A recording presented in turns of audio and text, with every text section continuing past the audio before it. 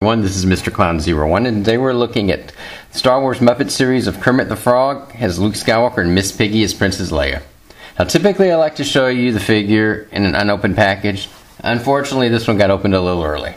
But let's take a look at the package as much as we can. As you can still kind of see, there's a nice custom background of them in the Death Star. Custom words back here. You can see the other four sets, or three sets rather. See all four sets back there. The price on this is again $20, $19.95. Bottom and top. Okay, now I'm going to go ahead and take them out and we'll have a look at the figures. We're going to take a look at Miss Piggy. Let's look at her articulation. She has shoulder swivel, cut joints for the elbows, and the wrist swivel somewhat. Her head turns all the way around. She also has, I think, the waist, yeah, it's a little tight, but the waist turns all the way around. The legs don't move at all that I can tell. I've tried to force them a little bit, and they don't seem to move. Okay, she comes with one accessory, and that is her pistol, which I have here. It's a little, it's a rubbery gun, as they all are, unfortunately, from this these type of things put it in her right hand. I assume it goes in her right hand. And she holds it fairly well, as we can see. Now, what I was unaware is I didn't know Miss Piggy wore a ring like that. That's a cool feature. It did.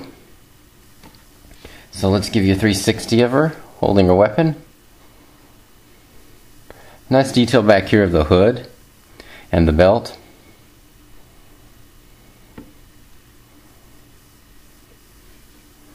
So there we have Miss Piggy has Princess Leia. Kermit the Frog has Luke Skywalker. For articulation, he has kind of a swivel on the uh, hip, but again, this is just like um, C3PO. It doesn't really work very well. You really need to keep him like this to get him to stand. His arms are kind of odd too. He's got the uh, elbow, or excuse me, shoulder swivel. And he's got cut joints that swivel at the elbow but they only turn at very specific angles. Like, see, it moves there. Does not. Okay, this one moves a little bit better than the other one. Maybe it was just stiff earlier. And has a cut joint at the wrist to turn it. Other one's the same way. He has a little, has a waist swivel, and of course his head turns. Let's take a look, give you a 360 of him real quick. These are just beautiful figures. I have to admit, I'm not much of a Muppet fan, but I am really impressed with these figures. For an accessory, he has a lightsaber. It's quite large. And it came with this little uh, plastic sheath. I don't know if you can see that, but it's plastic sheath. I'm assuming that's so the paint doesn't rub. So I'm just going to keep that on him and put it in his hand. So there we have Kermit as Luke Skywalker. You know, I always like to show you some scale comparisons. So I want to show you this Luke Skywalker next to Mickey Mouse Luke Skywalker. You see Mickey's quite shorter, but like I, I said in the other video, does it really matter? I mean, can you really say one is bigger than the other? They're both fiction cartoon characters. I just expected them to be more in scale, but nonetheless, they're very beautiful figures and very nice.